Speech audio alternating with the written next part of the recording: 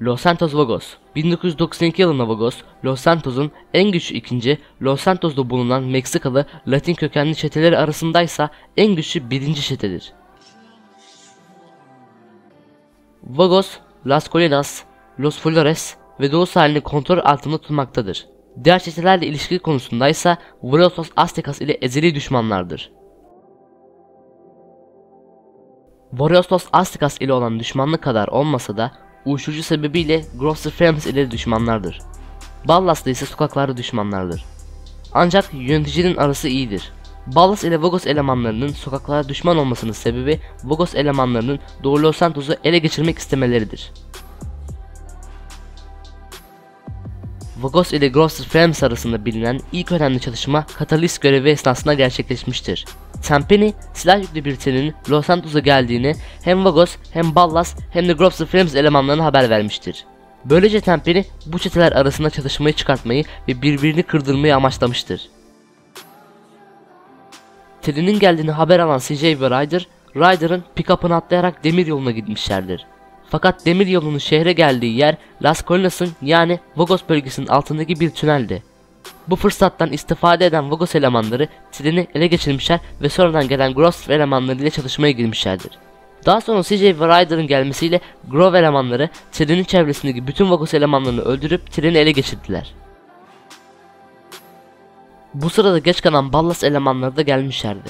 Grove elemanları CJ ve Ryder Ballas elemanlarını da öldükten sonra treni yağmadılar ve birçok silah Grosser Frames'in eline geçti. Bu olayla beraber Vagos büyük bir fırsatı kaçırarak büyük bir darbe yedi.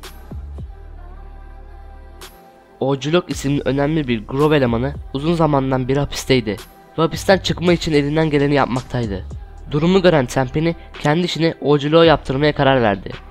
Eğer Oculok'u merak ettiyseniz yanlı videoma tıklayarak bunu izleyebilirsiniz. Bu amaçla Oculok'u geçici olarak serbest bıraktı ve Los Santos'da oturan Freddy isimli bir Vagos üyesini öldürmesi karşılığında sürekli serbest kalacağını, aksi takdirde tekrar hapishaneye gireceğini söyledi. Hapisten çıkan Oculok, Smoke'un arabasıyla CJ, Sweet ve Smoke tarafından hapisten alındı. Ve sonrasında Doğu Los gittiler. CJ ve Oculok burada inerek Freddy'nin evine gittiler. Fakat Freddy kaçmaya başladı ve motorlu bir kovalamaca başladı. Kovalamacada sonunda Oculok ve CJ Freddy'yi öldürdüler. Böylece Oculok özgürlüğüne kavuştu ve Vagos önemli bir elemanını kaybetti. CJ Adlewood'daki Smoke'un evine gitti. Burada Tempeni ve Pulaski ile karşılaştı. Onlar gittikten sonra Smoke'la görüşen CJ, Tempeni ve Pulaski'nin verdiği bilgiye göre Smoke'un kuzeninin Los Santos'a geldiğini ve uyuşturucu ticaret yapacağını öğrendi. Smoke'un sözlü amacı uyuşturucu ticaretini engellemek maksadıyla kuzeni ve arkadaşını öldürmekti.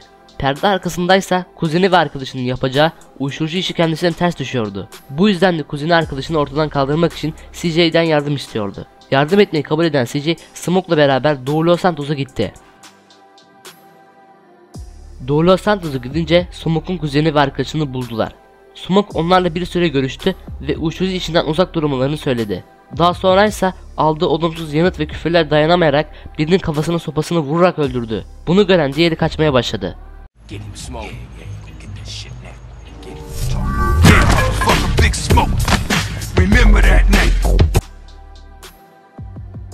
CJ ve Smoke onu kovalamaya başladılar. Fakat Smoke aşırı kilolarından dolayı kısa sürede yoruldu ve koşamaz oldu. CJ tek başına kovalamacaya devam ederek diğerini de öldürdü. Böylece Smoke'un gizli işleri büyük bir rahatlama kazandı ve Vagos'un uyuşturucu işi darbe aldı. Los Santos Vagos, Los Santos'un en kuzeyinden en doğusuna kadar olan bölgeyi kontrol altında tutmaktadırlar. Hakim olduğu bölge Los Colinas'tan Eas 5'e kadardır. Çete üyeleri alınlarında sarı bant takarlar. Kahverengi bir pantolon ve beyaz atlet giyerler. Oysanız Hermes, Tornado model arabalı kullanırlar. Bilinen tek liderleri Big Popa'dır.